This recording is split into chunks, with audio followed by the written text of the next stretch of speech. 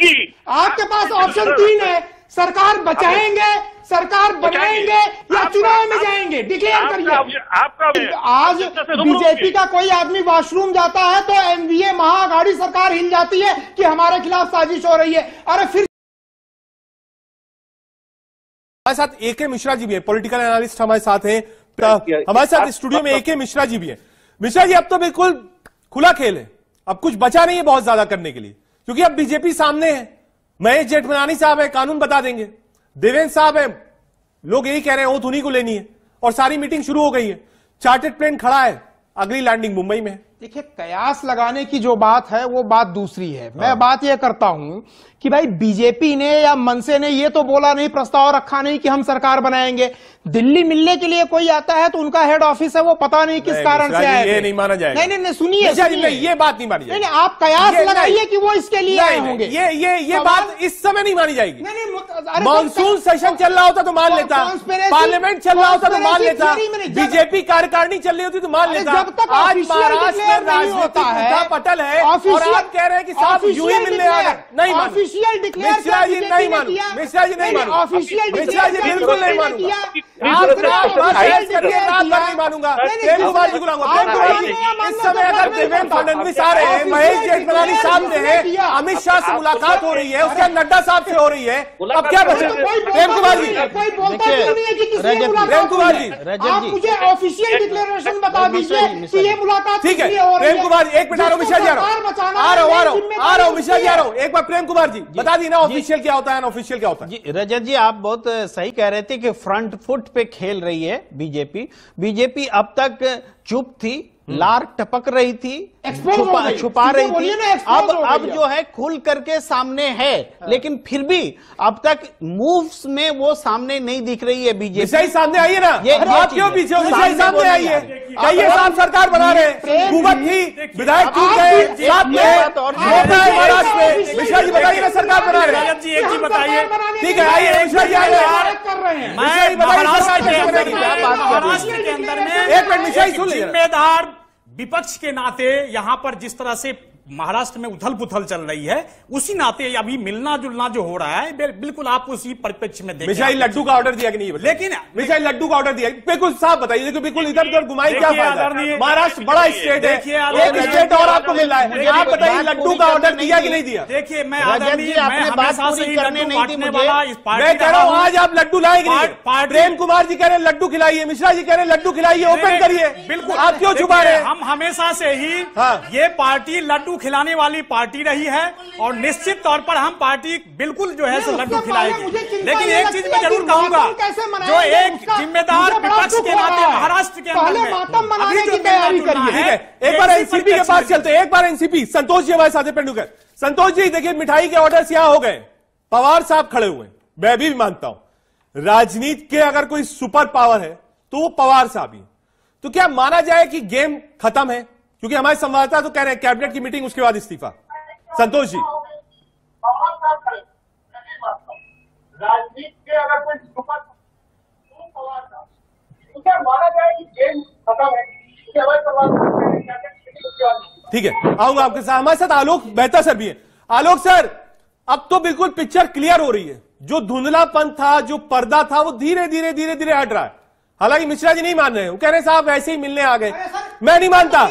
आप रात भर बहस करिए मैं नहीं मानूँगा। आप वडोदरा गए आप इंदौर गए गुवाहाटी से विधायक आए अब क्या बचा? अब तो सरकार बनाइए आलोक सर। मिश्रा जी हूँ। आलोक सर के पास आलोक सर। रजत जी देखिए ये हम लोग कितने खेल देख चुके हैं और पहले भी हमने अपने कार्यक्रमों में ज़िक्र किया है। शरद पवार जी जैसे कबड्डी के खिलाड़ी रहे ना हाँ। एक पाले में जाकर के अपने पाले में फिर से आ जाते हैं। तो अभी भारतीय जनता पार्टी वैधानिक रूप से चूँकि अभी सुप्रीम कोर्ट तक भी मामला पहुँचा हुआ है और इसके बाद भी जाएगा ये पक्का मानिए। ये कहानी यहाँ खत्म नहीं होगी। हाँ। लेकिन हाँ ये है कि सब लोग आप और हम चर्चा करें पूरी तैयारी हो रही है।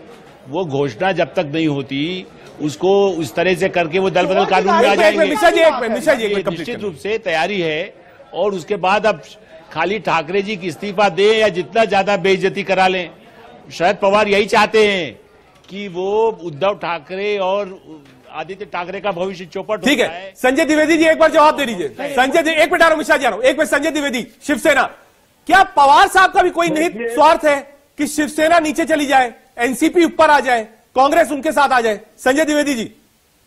असल में देखिए चर्चाओं में बाज़ार गर्म है। अफवाहें ऑटोमेटिक फैल रही है। और जो काम होना चाहिए वो नहीं हो रहा है। सबसे दिक्कत यही है।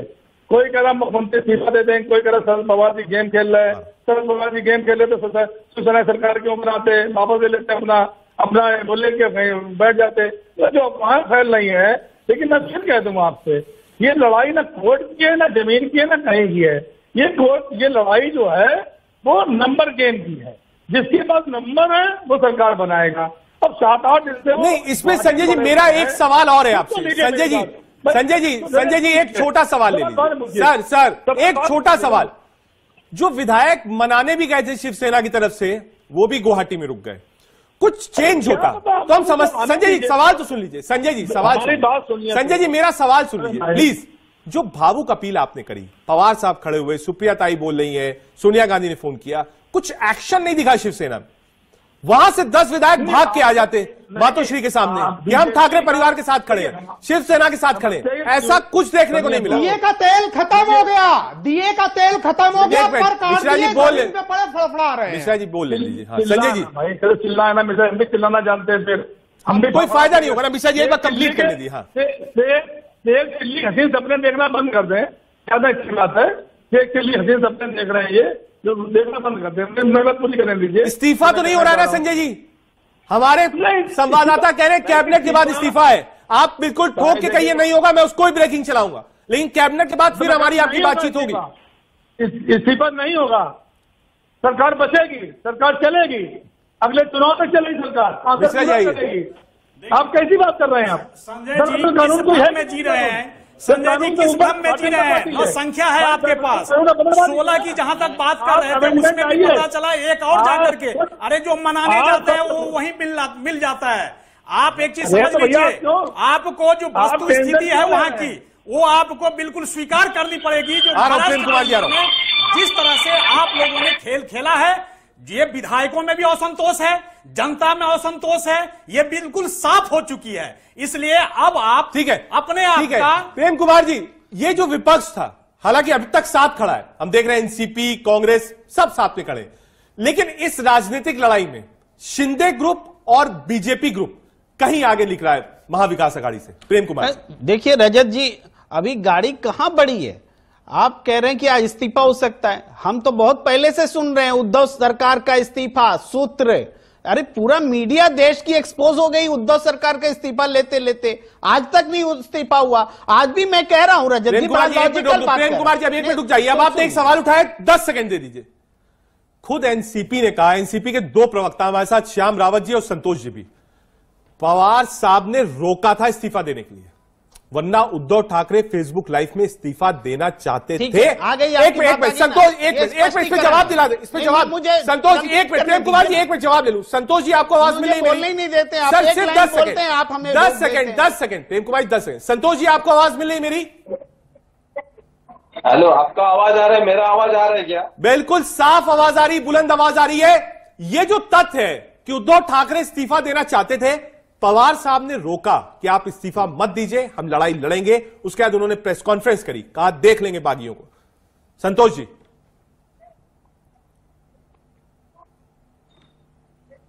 देखिए पवार साहब ने इस्तीफा देने के लिए इस्तीफा मतलब अभी जो ये पूरा घर फोड़ के जो गुवाहाटी गए हाँ। उद्धव उद्धव जी साहब के पास जो अविश्वास इन लोगों ने दिखा के शिवसेना का एक गुट जो अभी गुवाहाटी में जाके बैठा हुआ है। हाँ। ये कहना का उनको जो आज अगर कोई मुख्यमंत्री मुझे बोलिए ये सब घटना होने के बाद तुरंत जो वर्षा बंगला खाली करने वाला है महाराष्ट्र में बोले या देश में बोले या पहला मुख्यमंत्री रहेगा।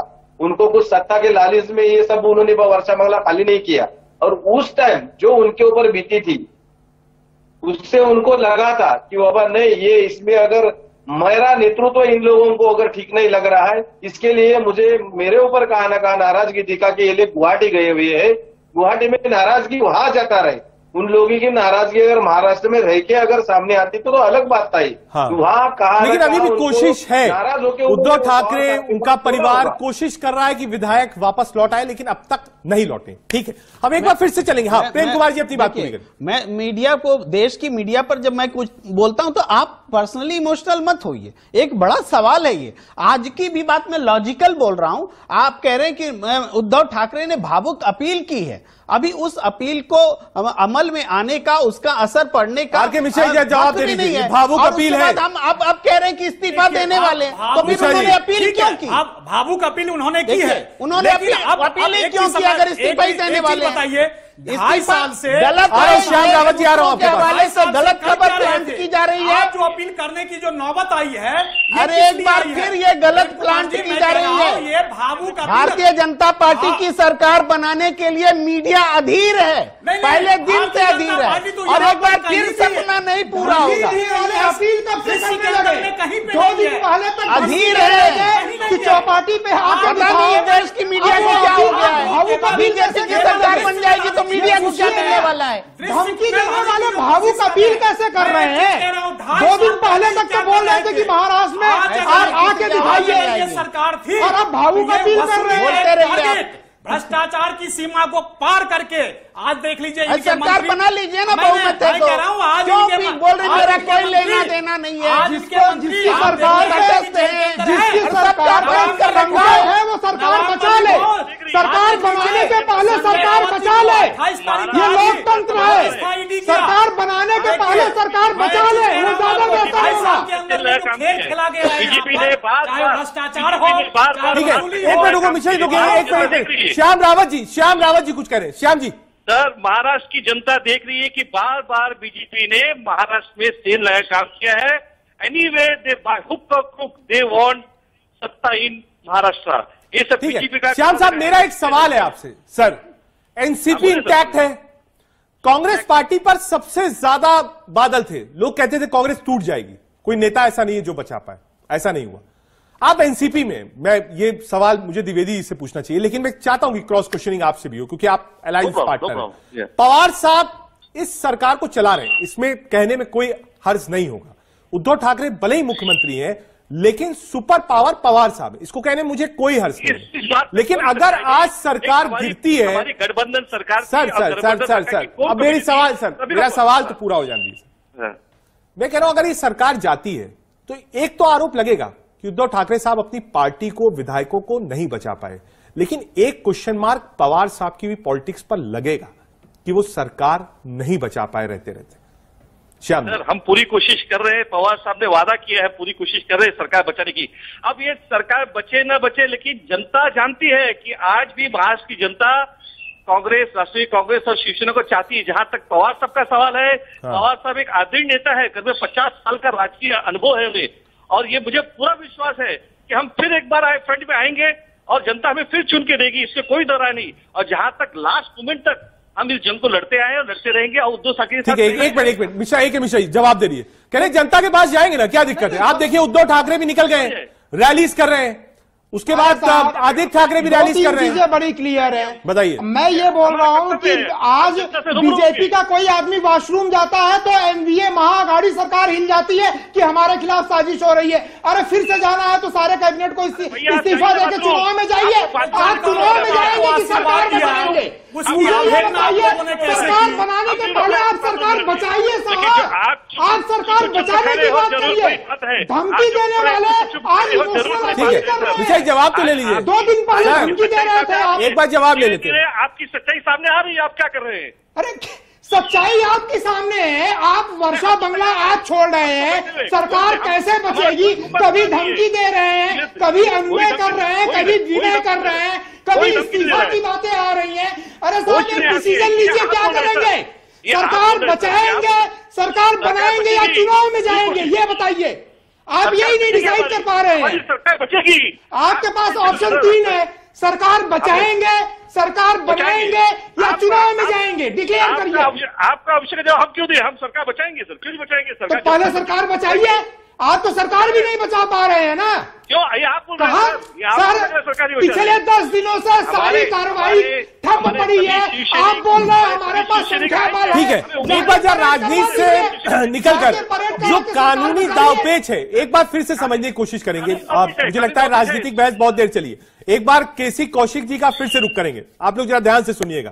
क्योंकि राजनीति जो इस समय चल रही है वो सिर्फ़ संख्या बल पर नहीं चलेगी। कानून उसमें कहीं ना कहीं बैरिगेट है और वो बैरिगेट पार करना पड़ेगा। उसको समझने के लिए कौशिक जी के पास चलेंगे। कौशिक जी, ये तो राजनीतिक बहस है। सरकार रहेगी, जाएगी, विधायक कहाँ जाएँगे, कहाँ आएँगे? इसका निष्कर्ष क्या होगा? क्या ये एक लंबी कोर्ट की और इलेक्शन कमीशन की लड़ाई में मामला फंसता हुआ दिख रहा है? देखिए देखिए ये मामला तो ये मामला तो कल ही फंस गया था। जब सर्वोच्च न्यायालय ने ये ये ये ये ये कह दिया कि डिप्टी स्पीकर को जो समय साढ़े पाँच बजे तक था वो समय बारह जुलाई तक है। तो हमको सबको सोच लेना चाहिए जब ये इंटरव्यूनिंग पीरियड मिल गया तो इसमें इसमें प्रॉब्लम तो आएगी। ये लड़ाई कभी खत्म नहीं होगी ये लड़ाई दोबारा सुप्रीम कोर्ट आएगी। ये ऐसा मेरा मानना है क्योंकि ये जो ये जो ये जहाँ तक सिंबल का सवाल है सिंबल जाएगा चुनाव आयोग के पास। चुनाव आयोग से जो पार्टी संतुष्ट नहीं होगी वो फिर सुप्रीम कोर्ट आएगी। तो कौशिक इसमें मेरा तो एक छोटा सा सवाल है आपसे सर। दो चीज़ें हैं। क्योंकि किसी भी पार्टी का जो संविधान होता है वही मूलभूत आधार होता है इलेक्शन कमीशन के पास वो जमा भी होता है। जी। विधायकों की संख्या आज की डेट में अगर हम मान के चले तो वो शिंदे ग्रुप के पास ज़्यादा है। लेकिन जो स्ट्रक्चर ऑफ़ द पार्टी है, वो फ़िलहाल उद्धव ठाकरे के साहब के पास दिख रहा है। ऐसे में जो फैसला इलेक्शन कमीशन करता है फुल बेंच जब बैठती है तो उसमें तीन मेरिट के क्लॉज क्या होते हैं? देखिए जहाँ तक जहाँ तक आपने बहुत सही सही विश्लेषण किया है कि कि जब चुनाव आयोग के सामने जब तथ्य रखे जाते हैं हाँ। खाली विधायक आपके किधर है इस पर फैसला नहीं होता है जी। पॉलिटिकल स्ट्रक्चर है पार्टी का पॉलिटी जो बायलॉज हैं उसके हिसाब से मेजोरिटी क्या कहती है नॉर्मली चुनाव आयोग उस पर फैसला करते हैं आपको लेटली ध्यान होगा अभी जब क्या नाम है एसपी का झगड़ा चला हाँ, था तो उस टाइम साइकिल की बात हाँ। आई तो उस टाइम फैसला अखिलेश यादव के पक्ष में दिया था चुनाव आयोग ने। तो हमें समझना चाहिए कि ओवरऑल यदि हम देखें तो हाँ। ओवरऑल जो है जो शिवसेना का जो बायलॉज में हमारे सामने सारे साम, सा, पूरे उपस्थित नहीं है लेकिन जितना पता है उसके हिसाब से कैडर बेस्ड पार्टी है। कैडर बेस्ड पार्टी पे मेजोरिटी आज की डेट पे भी उद्धव ठाकरे का लगता है। ये जो ये जो बाकी लोग बाकी जो बाकी विधायक है ये ये सिर्फ़ एमएलए हैं इनका अभी तक ऐसा नहीं लग रहा कि इनका बाकी कैडर पर भी कंट्रोल है। यदि ऐसी स्थिति रहती है तो चांसेस इसके ज़्यादा हैं कि चुनाव आयोग जो है वो सिंबल उद्धव उद्धव ठाकरे के फेवर में ही दे। वो इस इनको नहीं दे। ठीक है। हम अब एक बार फिर से चलते हैं। मिश्रा जी देखिए ये पार्टी की जो लड़ाई है वो कौशिक जी ने बहुत बेहतर समझाया कि साहब एमएलए हो सकते हैं लेकिन जो कैडर है वो भी माने रखता मैं एक वैल्यू एडिशन करना चाहता था। देखिए विधायक क्या है सरकार क्या है वो अलग है। पार्टी का जब रजिस्ट्रेशन होता है वो इलेक्शन कमीशन में होता है। सबसे पहले जब फॉर्म भरा जाता है तो वहाँ राष्ट्रीय अध्यक्ष कौन है उपाध्यक्ष कौन है ट्रेजरार के हैं ये सारे। और कार्यकारिणी में कौन कौन से लोग हैं ये वहाँ पे लिख करके दिया जाता है। है। अब इस चीज़ का डिसीज़न कैसे होगा कि राष्ट्रीय अध्यक्ष कौन है और सिंबल किसका है?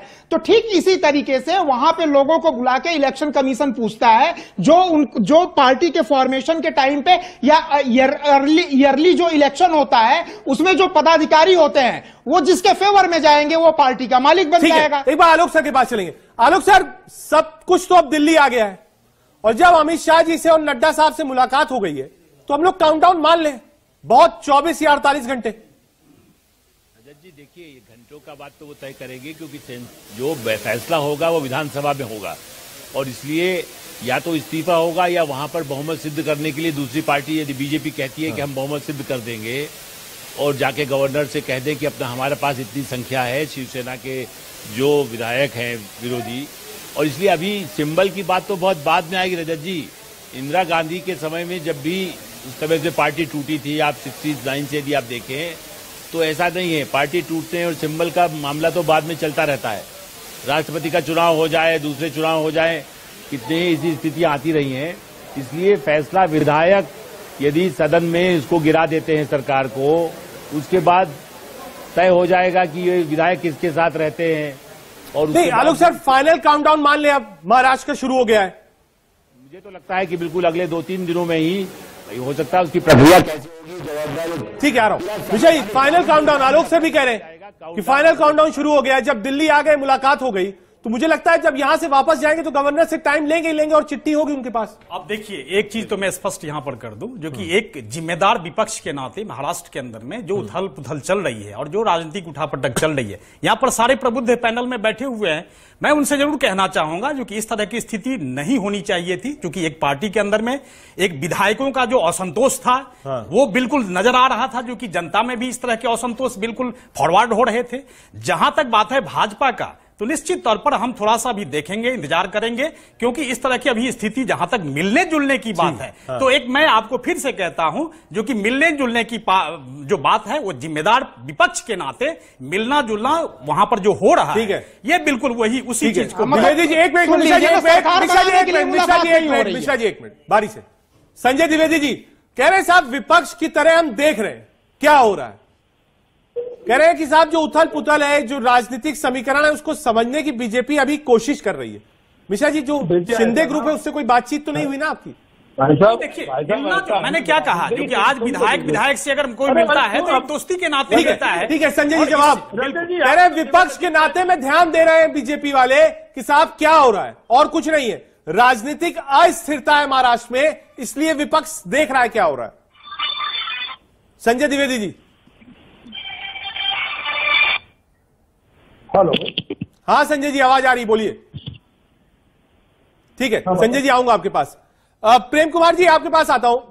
जी जी जी। प्रेम कुमार जी ये जो स्थिति है क्या ये सिर्फ़ देखने वाली है बीजेपी की कि विपक्ष के रूप में देख रही है या फिर सत्ता सामने है? देखिए ये पूरा मामला जो ऐसा नहीं है कि शिवसेना से सब रूठ गए। अरे रूठ जाते तो मुंबई में विरोध होता। धीरे हाँ। धीरे आपने देखा सूरत में कुछ इकट्ठा हुए कुछ गुवाहाटी में गए संख्या बढ़ती रही बुलाए जाते रहे। ये, ये और उसके बाद अब भी जो है सुरक्षा में रखा गया है। वहाँ पत्रकार तक मिल नहीं पाए सारे विधायकों से। वो आते थे लॉबी में और उसके बाद में पत्रकार से एक, ए, अकेले में बात करते थे। यानी पत्रकारों तक भी एक्सेस नहीं था। वो विधायक किस हालात में है किस डर में है किस लोभ में है किस लालच में है ये जब तक क्लियर नहीं होगा तब तक बात बनेगी नहीं और फ्लोर पर ही ये क्लियर हो सकता है और कहीं क्लियर नहीं हो सकता। और अगर आप कह रहे हैं कि मिल लिए जेपी नड्डा से तो सरकार गिर जाएगी। अरे पहले मिल लेते। पहले मिलने लेते जेपी नड्डा से सरकार बन जाती और उससे पहले भी। मिलने के लिए आता है तो वो सरकार गिराने या बनाने के लिए नहीं है। एक मिलना सबसे बड़ा चुनौती है कि शिवसेना सरकार बचा ले एनडीए सरकार बचा ले। सब लोग तो यही बोल रहे हैं कि सरकार बचाइए तो भाई ठीक है, क्या- क्या हम ये देखेंगे जो कि वहाँ पर सरकार बन गई या सरकार बनाने के लिए हम रुचि रख रहे हैं? ऐसा कुछ नहीं है। मैं अभी भी कह रहा हूँ मैं अभी भी संजय द्विवेदी जी को एक बार रखिएगा स्क्रीन पर। शिवसेना के लिए बहुत बड़ी खबर आप शिवसेना आप अपने संगठन को बचाइए। आप संगठन बचाने में नाकाम हुए नाकामयाब हो रहे हैं। आप अपने विधायकों को जो असंतोष है जो भरा पड़ा है उसको आप बिल्कुल नहीं आप भावुक पर भावुक चिट्ठियाँ लिख ठीक रहे है। एक मिनट। संजय द्विवेदी जी भावुक पर भावुक चिट्ठियाँ लिख रहे हैं। आप भावुक फिर पे भी कोई भावुक चिट्ठियाँ लिख रहे हैं। कॉन्टैक्ट मतलब कर रहे हैं मैसेज दे रहे मतलब है, आदमी भेज रहे हैं। लेकिन वहाँ का विधायक प्रयास- विशा जी एक मिनट। वहाँ का विधायक रिस्पॉन्ड नहीं कर रहा है आपको। क्यों नहीं बात कर रहा है उद्धव ठाकरे से? संजय द्विवेदी जी। रजत जी अगर रजत जी अगर बात पूरी करने से तो, तो मैं बोलूँगा वरना मैं शांत हो जाता हूँ। ठीक है ना? संजय जी पूरा एक मिनट आपके पास है कोई पैनलिस्ट नहीं बोलेगा। आप बताइए ना दिक्कत कहाँ है? नहीं नहीं नहीं अगर मेरी बात पूरी होने दे तो तो मैं बात करूँ। बोलिए सर बोलिए। बाकी फिर कोई हाँ। बोलिए सर कोई नहीं बोलेगा आप बोलिए संजय जी। इतनी अफवाह उड़ रही है ये उड़ रहा है वो उड़ रहा है दुनिया भरे की बातें हो रही हैं। तो उसके बाद भी अभी तक कोई नतीजा नहीं निकला। अभी तक कोई नतीजा नहीं निकला। है, अभी तक कोई नतीजा नहीं निकला। क्या? अब गुवाहाटी में जाए पड़े हैं। तो गुवाहाटी में वो होगा क्या? गुवाहाटी जाके कर जाके विधानसभा जो है, यहाँ की गुवाहाटी लगवा ले, बीजेपी कह दीजिए। भारतीय जनता पार्टी करके गुवाहाटी लगवा दी जाएगी। वो जब वहाँ स्पीकर के पास मिलने नहीं आ रहे हैं, ना बात करने आ रहे हैं, और ऊपर से स्पीकर प्रस्ताव दे रहे हैं तो वो सरकार कहाँ बनाना चाह रहे हैं? और कहा वो बा- बागी है अभी। वो बागी नहीं ना? मिश्रा जी संजय जी, वो कह रहे गुवाहाटी में सेशन लगवाइए। महाराष्ट्र की बात है आपने गुवाहाटी में रखा है विधायकों को। राजद जी। वो कह रहे हैं द्विवेदी जी क्या गुवाहाटी में सेशन लगेगा? राजद जी। क्या फ्लोर टेस्ट गुवाहाटी में बुलाइए मुंबई? नहीं तो मनाने के लिए जब आप फ़ोन भी कर रहे हैं चिट्ठी लिख- लिख रहे हैं आप भावुक अपील कर रहे हैं अरे आप ही में से कोई चले जाइए ना गुवाहाटी। जो गुवाहाटी जाएगा वो वहीं रह जाएगा। ठीक है संजय श्याम रावत जी कुछ कह रहे आप हैं एक मिनट एक मिनट एक मिनट एनसीपी की को लाइए कोशिश बीच में एक मिनट। श्याम रावत जी श्याम रावत जी हाँ। सरकार का क्या होगा? बीजेपी कह रही साहब हम तो राजनीति का अस्थिरता है। उसी को देख रहे हैं क्या है? श्याम रावत जी। दूर से बैठ के देख रहे हैं। अस्थिरता खुद फैला रहे हैं सर। वो खुद चाहते हैं कि सरकार गिरे और ये काबिज करे। इनकी तो मंसूबा वही है।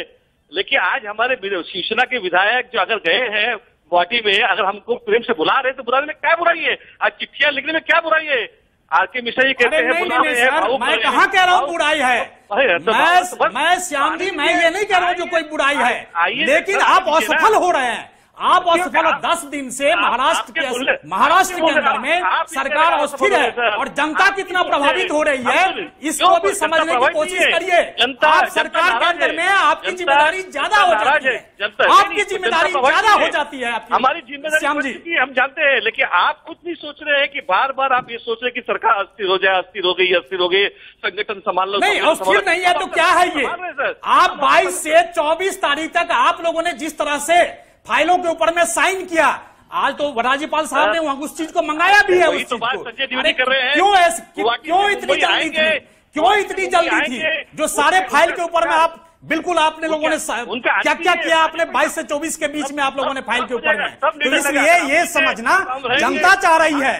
ये जनता नुपुर शर्मा के केस में आपने पुलिस भेज दिया। कंगना रनौत का आपने बुलडोजर लगा के घर तुड़वा दिया। तीस चालीस विधायकों को उस समय में तो आप लोगों ने आप एक नोटिस तक नहीं दिया। आप लोगों ने किस तरह से सेंट्रल विधायक एजेंसियों को वहाँ तक आप उनको लोग सरकार को जिस तरह से सरकारी तंत्रों को दुरुपयोग किया वहाँ पर वहाँ ठीक है। वक्त की थोड़ी कमी है। देश के सवाल में आप सब आए। आप सबका बहुत शुक्रिया।